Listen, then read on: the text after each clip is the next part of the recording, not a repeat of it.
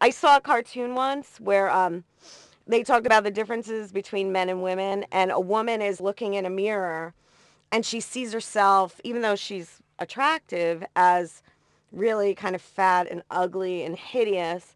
And a man, the same man, is physically fat, ugly, and hideous, and looks at himself and sees a, an Adonis. I'd like to know from the men if, if they think that that cartoon is really true because I feel like the men in my life, even my dad sometimes says, oh, I try not to look at myself in the mirror. Like, I think more and more men are feeling like More they're sensitive being about their judged bodies. about for Well- their bodies and their appearances. the uh, battles that women have been going through in the context of um, magazines, where they think, you know, this is the magazine of how the women should look, blah, blah, blah. I think that men are just starting to be introduced to the men's magazine saying how they should look, how they should primp, how they should have their hair be. Um, so now they're starting to go through that. And um, I just I, I just think that it's the same thing, but it's just at a different stage. That's all. I think okay, but a lot of people here make media, so what about, we know what goes into making an image. So does that affect people differently? Um, Because you know it's airbrushed.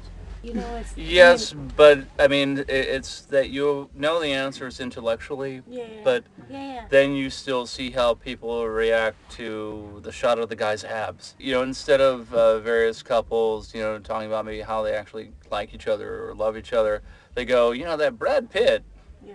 Yeah, and, But I and, know and the the same. Brad Pitt, he's got acne scars. Right, uh, but and, and Cameron and, and Cameron Diaz has the same exact issues. I mean, Yeah. you know, so we will never be able to make the Brad Pitt, uh, Cameron Diaz film that you and I were planning to make now. So there you go. but yeah, no, celebrities are supposed to have this perfect, this perfect persona, this perfect.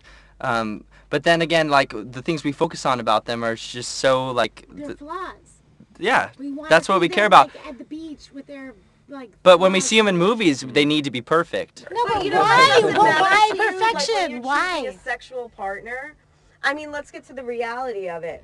I mean, if you're attracted to a guy or a girl, if they have a pimple or or they're too fat, does that matter to you?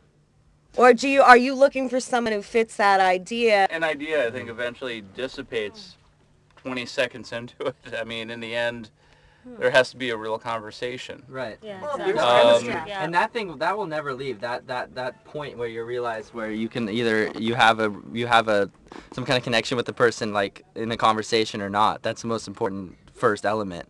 And and no matter like what they look like because you can go up to somebody who you think's beautiful and you talk to them for a little bit and if if you don't have common interests, what's the what's the what's the draw? So I guess I, I make films about body image. So Oh, perfect. my She's in her question is about, you know, like is it a new religion? Like do we do we is shopping old like the new opiate of the people? Like if, if do we want something to Are we strive for? sacrificing Like why are we doing this? Because it's not just the beauty industry. It's we're, we're we're it's human beings creating the beauty industry. Like Well, why does it exist? Uh, I think Is that it, Well, I mean, think- I think there's a natural thing to want to be beautiful. I Yeah. mean, from the earliest times, we've been, um, you know, being wanting to be beautiful is not the bad No, thing. but, it's But the cultural standards of beauty are just so variable. Like if you look at Bollywood, the current the current cultural standard of beauty for a male uh, Indian actor is a man with a barrel chest and a big face and a large bushy mustache. And who's very light skinned.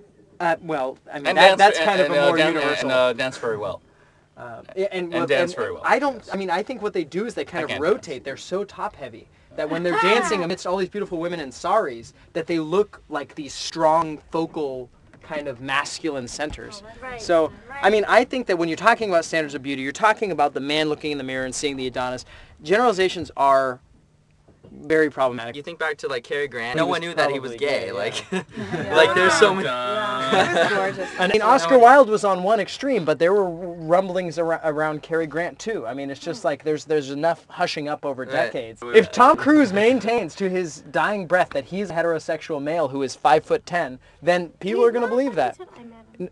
And he's not heterosexual Yeah, either. But what about See, this will be the See, this is this So is the why are we problem. yeah, We know I know these people. beer. They live in my building. You know what the hell? I don't know them at all. But we know them. Like s- allegedly, No, we we know don't. them. We, we we talk about shit that we shouldn't care about more than than what we Much we easier. But do we much really? easier. I Well- mean, is that what you all really talk about? No, but like in passing, in our acquaintances. Well, in, in passing. So I the think media that there talks is. about it nonstop. Well, I, I think that there's a certain level w- of inner culture of, uh, you know, to get minorly political, kind of creepiness that is going on in our culture right now.